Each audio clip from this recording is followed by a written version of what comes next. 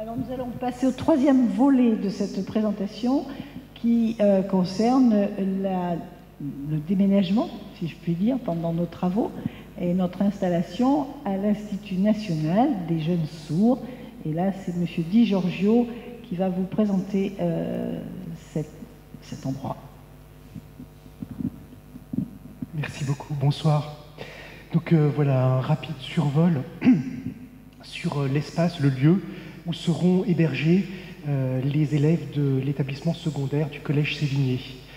Alors, d'abord, une vue du ciel.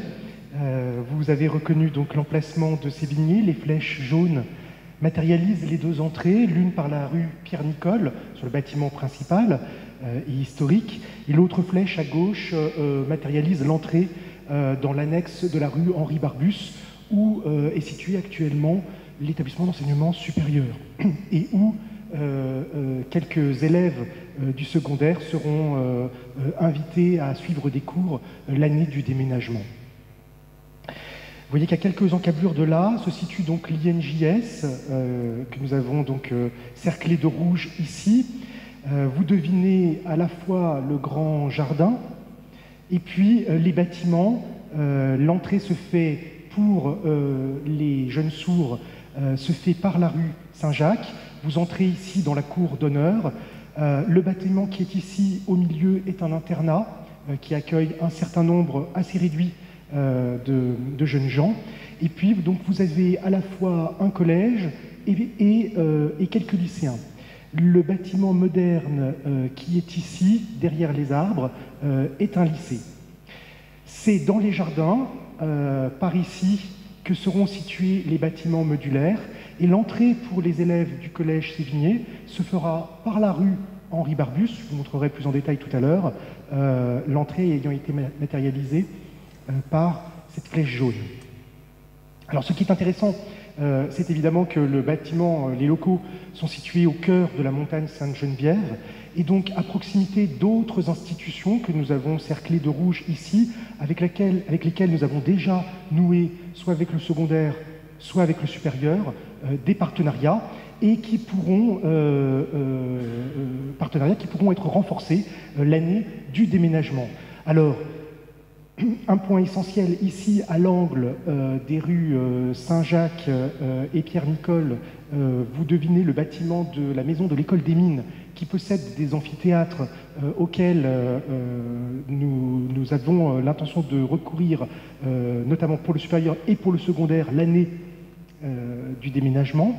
J'ai cerclé euh, de rouge l'école normale supérieure, c'est symbolique, pas tout à fait. C'est d'abord une institution qui a aidé euh, le Collège Sévigné dès euh, la fondation, puisque Michel Bréal, le fondateur, est un normalien et qu'un certain nombre d'enseignants appelés par Mathilde Salomon viennent de cette, de cette institution.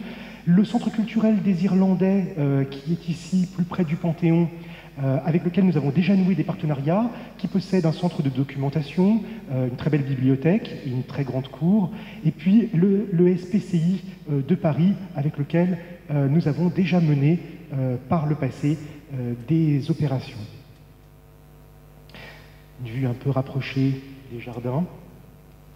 Vous devinez donc ici les espaces où pourront être mis en place les bâtiments euh, modulaires dont nous vous avons parlé euh, tout à l'heure.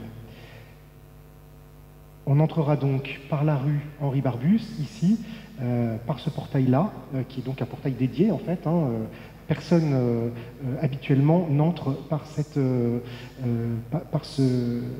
endroit. Et puis donc, un, détail très important, l'espace est sain de murs euh, ce qui fait que euh, voilà, la, sécurité des, élèves euh, est absolument assurée.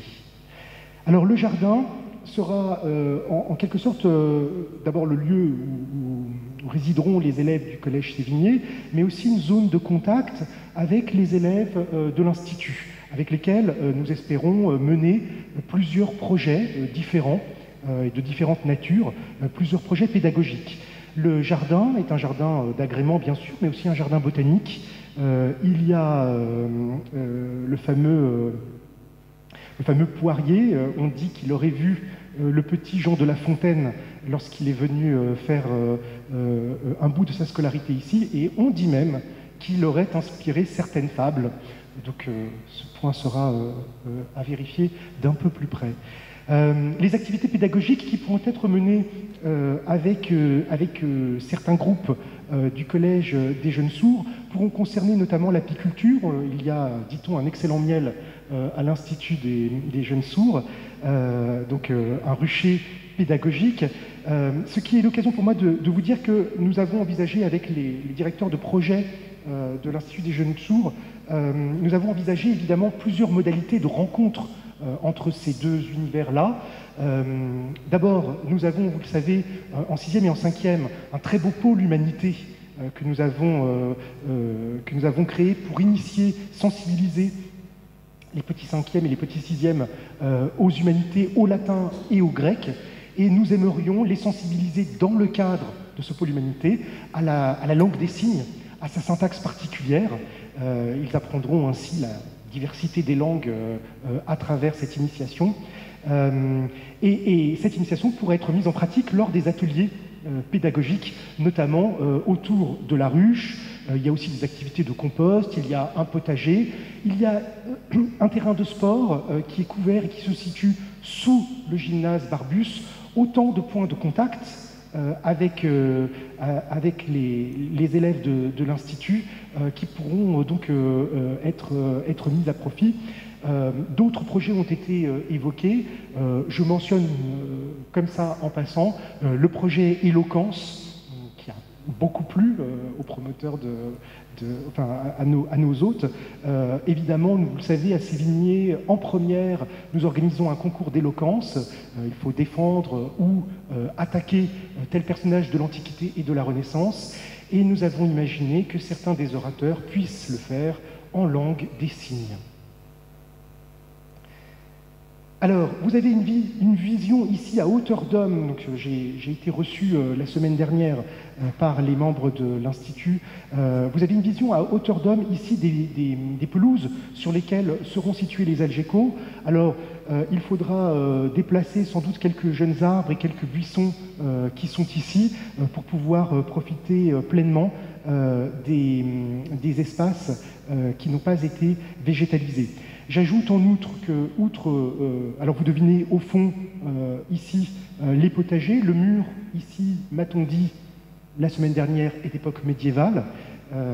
Et, c'est là que les activités dont je vous parlais tout à l'heure auront lieu. Et derrière moi, enfin derrière nous, lorsque nous regardons la photo, se situe le lycée qui possède un très très grand hall euh, d'entrée dans lequel, par exemple, pourraient euh, être installés à titre provisoire euh, les casiers des sixièmes et des cinquièmes.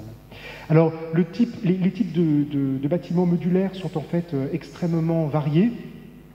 Nous en avons ici mis un simplement pour, pour, pour, pour indiquer voilà, à quoi cela pourrait ressembler sur un ou deux étages. Voilà pour la présentation essentielle. Oui Oui, je vous en prie. Euh, oui, je, voulais peut-être avant les questions, parce qu'il euh, y, a des éléments sans doute de, réponse à, des questions qu'on peut, peut prendre. Euh, d'abord, effectivement, le calendrier prévisionnel, puisque c'était une question que, que vous aviez. 15 février, ça va être le choix de l'entreprise de bâtiments modulaires, puisque là, il y a un appel d'offres en cours. Bon, il n'y a pas énormément d'entreprises qui font ce genre de choses. Vous connaissez euh, Cugnot, Algeco, et puis il y en a quelques autres, et notre assistant maître d'œuvre est en train de lancer l'appel d'offres. C'est uniquement quand le choix de cette entreprise sera fait que les études techniques complètes seront lancées, puisque c'est cette entreprise qui les fera. C'est la raison pour laquelle on n'a pas encore euh, beaucoup d'indications certaines à donner sur l'implantation de ces bâtiments modulaires et surtout sur leur nombre. On a une première esquisse, donc euh, on sait que ça peut marcher, mais euh, le nombre exact ne peut se calculer qu'après étude des sols, qu'après voilà beaucoup de choses qui euh, seront lancés après le choix de cette entreprise. Et ce choix, on s'est fixé donc la date du 15 février pour que le conseil d'administration, puisque là c'est bien sûr le conseil d'administration et sa commission travaux, euh, fassent le choix